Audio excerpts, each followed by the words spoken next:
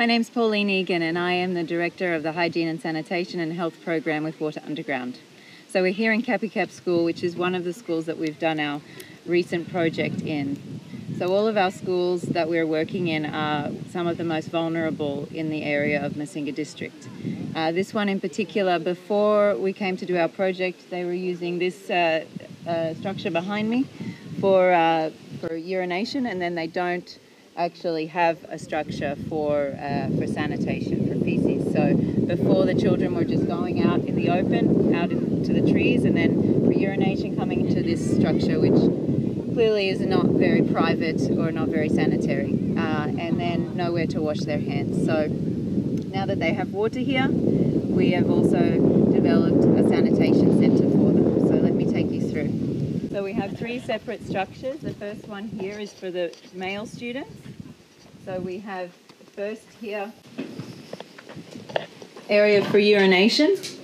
So these structures are built uh, to, to accommodate multiple students at one time because the problem in the schools at the moment is many, many students go in their short break try to use that small facility that they have been using made from local materials.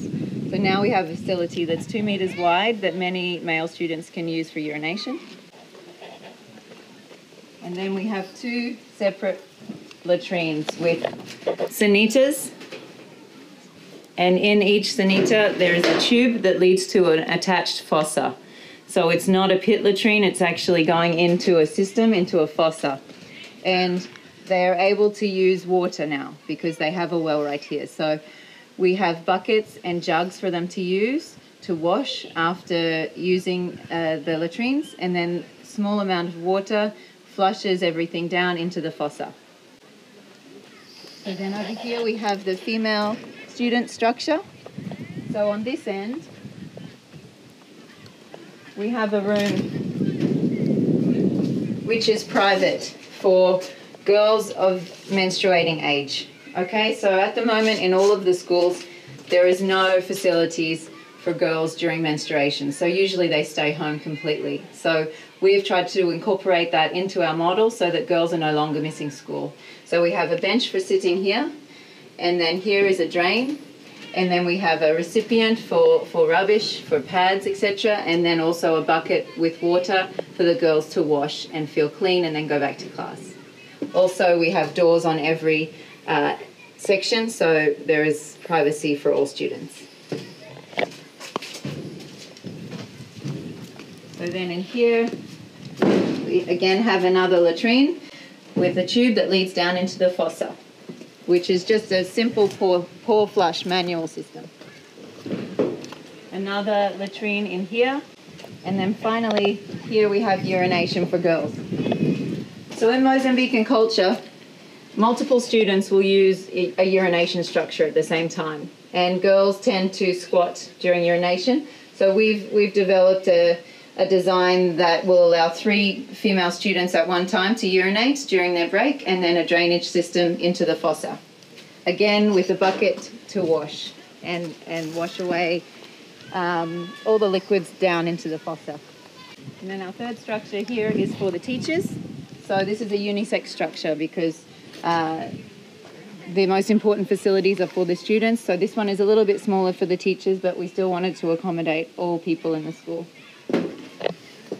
So we have urination for men here, urination for women in the corner there with drainage into the fossa.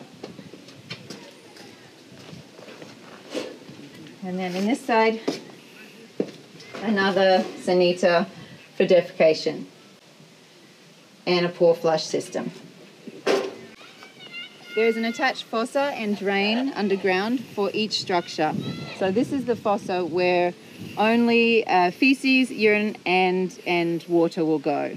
Uh, everything else will go into rubbish bins. So, this, and our final structure